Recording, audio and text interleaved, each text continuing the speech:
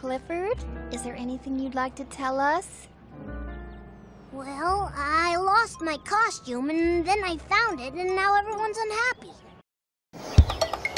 Did Clifford mess up the dessert table? If not, who was wearing his costume? Will they discover the real Halloween bandit? You didn't do this? No. Okay then. If my buddy Clifford said he didn't do it, then he didn't do it.